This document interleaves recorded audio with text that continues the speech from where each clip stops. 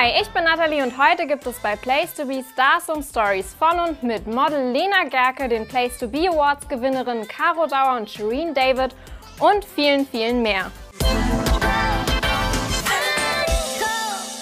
Der Alltag zwischen mir und meinem Freund sieht eigentlich relativ normal aus. Was uns Anna noch alles erzählt hat, sehen wir gleich. Jetzt erstmal das Weekly Update.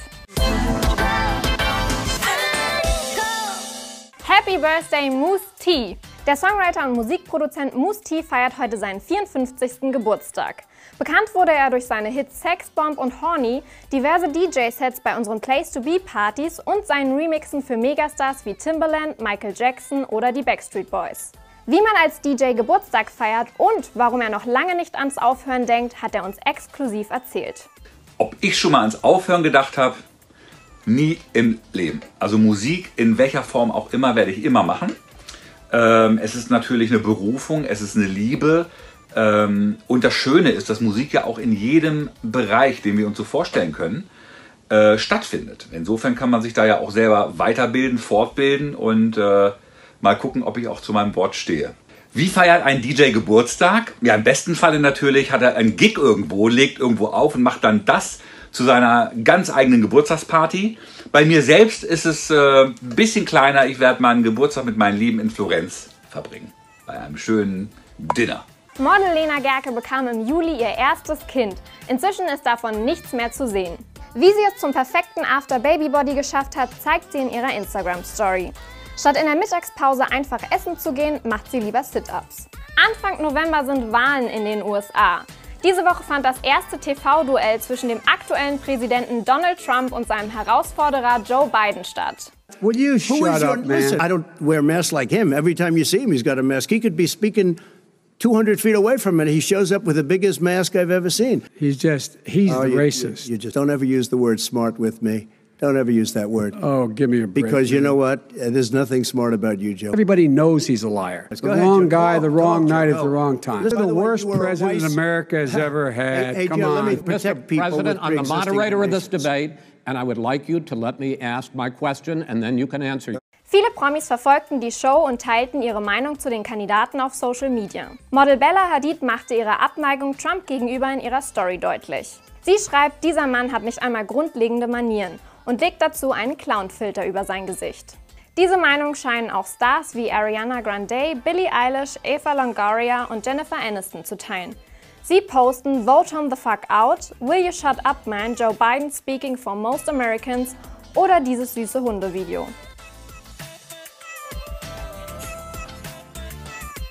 Auch die Models Cara Delevingne und Barbie Ferreira verdeutlichen noch einmal ihre Ansichten und erklären, wie man sich für die Wahl registrieren kann. Die sonst loyalen Trump-Unterstützer wie Kanye West, Sylvester Stallone oder Caitlyn Jenner verhielten sich nach der Debatte ungewöhnlich ruhig und posteten nichts. In Berlin wurde gestern gefeiert. Dort fanden die traditionellen Madelwiesen statt, die wohl exklusivste Version des Oktoberfests. Doch statt in München auf den Theresienwiesen fanden die Madelwiesen diesmal in einem Zelt hinter dem Promi-Restaurant Borchardt statt. Und statt großem Hallo gab es natürlich auch die obligatorischen Abstands- und Hygieneregeln. Vorab hat meine Kollegin Lina mit einigen Promis gesprochen, wie es ist, jetzt endlich mal wieder auf einem Event zu sein.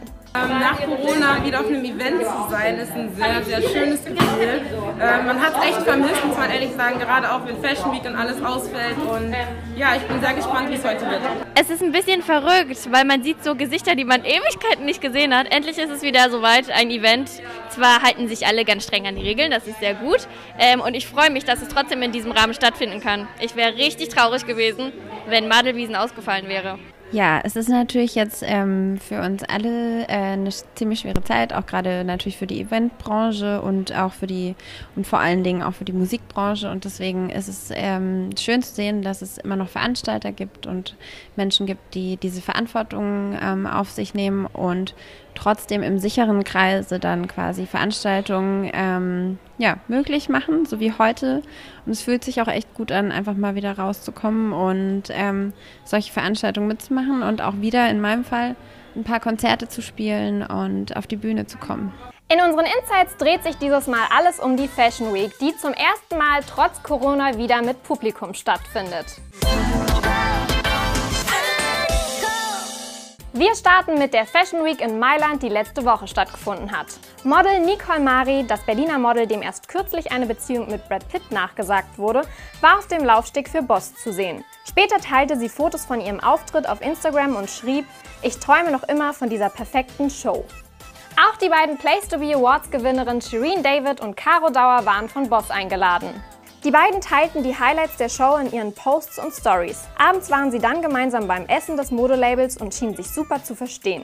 Wie viel während der Fashion Week los ist, zeigt Fashion-Influencerin Leonie Hanne. Sie nahm ihre Community hinter die Kulissen mit und teilte ihren kompletten Tagesablauf. Von Make-up um 8.30 Uhr über Charity-Shooting um 15.30 Uhr bis zum Dinner um 20.30 Uhr. Der Fendi Show waren Stars sowohl auf dem Laufsteg als auch im Publikum zu sehen. Plus-Size-Model Ashley Graham präsentierte einen der insgesamt 67 Looks. Diesen teilte sie zusammen mit ein paar Backstage-Eindrücken auf Instagram. Der Stargast der Show war Sängerin Rita Ora. Auf diesem Foto ist sie mit den Designern Silvia Venturini Fendi und Kim Jones zu sehen. Die Fashion Week in Paris startet diese Woche. Die neue Dior-Kollektion wurde in einer physischen Modenschau gezeigt und live auf der Website der Brand übertragen. Viele Stars verfolgten die Show live aus der ersten Reihe und zwar von zu Hause auf ihrer Couch. Dazu zählen die Models Ann-Kathrin Götze, Cara Delevingne und Romy Street. Im Live-Talk habe ich diese Woche mit Model Anna Wilken gesprochen. Sie hat uns die Herbsttrends 2020 verraten.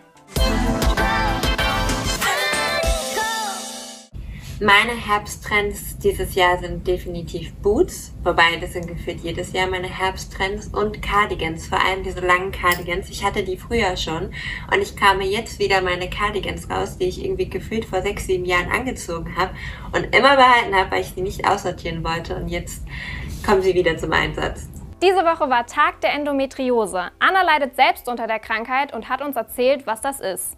Ja, ähm, diese Woche war Tag der Endometriose und das Problem bei der Endometriose ist, dass viele das Wort und die Erkrankung dahinter gar nicht kennen.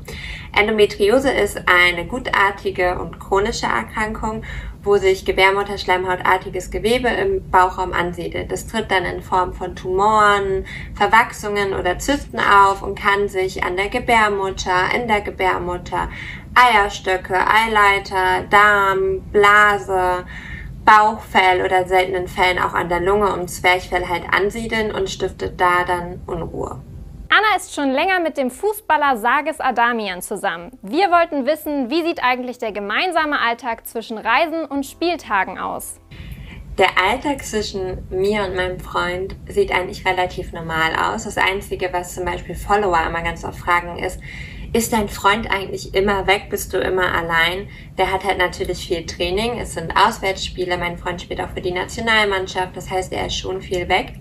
Wir bekommen das eigentlich aber ganz gut hin, dadurch, dass ich auch viel weg bin, auch viel zu tun habe. Wir essen immer alles abends zusammen. Das ist so quasi auch so unsere Pflichtroutine. Wenn er frei hat, dann gehen wir irgendwie in ein schönes Café oder gehen essen und nutzen dann einfach die Zeit für uns zu Hause.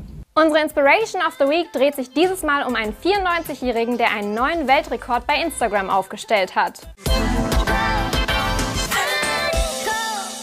Der britische Naturforscher und Tierfilmer Sir David Attenborough meldete sich im Alter von 94 Jahren erstmalig bei Instagram an. Den Grund dafür nannte er in seinem ersten Beitrag. It's my first time on Instagram. And I'm making this move and exploring this new way of communication to me because, as we all know, the world is in trouble. Over the next few weeks, I'll be recording messages to explain what the problems are and how we can deal with them. Zu seinen inzwischen fast 5 Millionen Followern zählen auch Stars wie Schauspielerin Lily Reinhardt, Designerin Victoria Beckham, Model Stephanie Giesinger, Prince William und Herzogin Kate. Der ehemalige Formel-1-Star Nico Rosberg gratulierte Sir David in den Kommentaren mit den Worten: Wirklich eine inspirierende Bereicherung für die Instagram-Community. Willkommen, Sir David. In der Kommentarspalte gab es zusätzlich eine große Überraschung. Der offizielle Account von Guinness World Records gratulierte ihm zu seinem neuen Weltrekord. Sir David stellte mit ungefähr vier Stunden eine neue Bestzeit auf, um die 1 Million Follower-Marke zu knacken. Das war's von Place to Be Stars und Stories. Wenn du noch mehr Stars und Stories möchtest, dann folg uns auf Instagram at Place to Be.